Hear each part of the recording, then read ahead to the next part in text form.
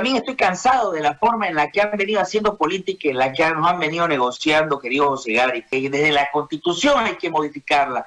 Creo que necesitamos implementar el verdadero sistema de descentralización, querido José Gary, pero ya no bajo el mando del pactismo, ya no bajo, ya no bajo la manga del cobardismo o de quien nos negoció, nos pactó o se silenció por interés.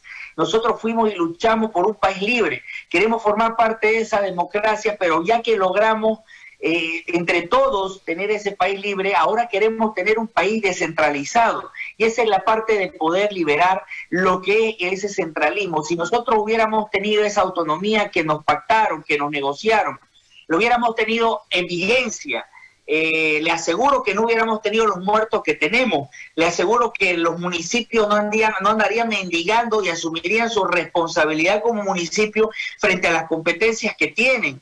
Y de la misma manera, en la gobernación es más fácil lavarse las manos. Ahora deben dar gracias a Dios de que no tienen ellos ese, esa, esa autonomía, porque esa autonomía significa responsabilidad. Pero de una u otra manera creo que es importante tener eh, que, llevar adelante esa descentralización.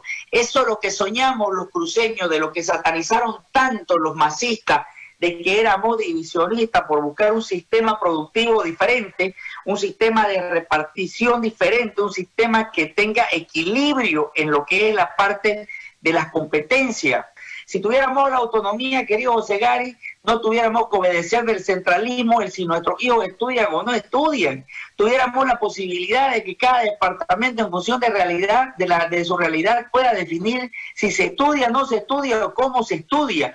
Pero claro, este, este es el partido que está gobernando, que en teoría, en teoría, fue la bandera en su momento cívica y luego política de la autonomía, pero son lo más centralista que existe. Es más, no quisieron compartir ni con los municipios ni con la gobernación de robarse los respiradores, se los robaron solito. No, hubiera, no, no hubiéramos tenido ni siquiera la responsabilidad de poder decirle al gobierno, escúchenme, señores, este, ¿por qué se están robando? Lo tuviéramos aquí cerquita, en la plaza 24 de septiembre, lo tuviéramos aquí en Omar Chávez, a la gente exigiéndole por qué se robaron los respiradores. El pueblo tenía un sueño, un sueño cuando iniciamos la cuarentena, querido José Gari, que durante este tiempo le den las posibilidades a los bolivianos de poder respirar.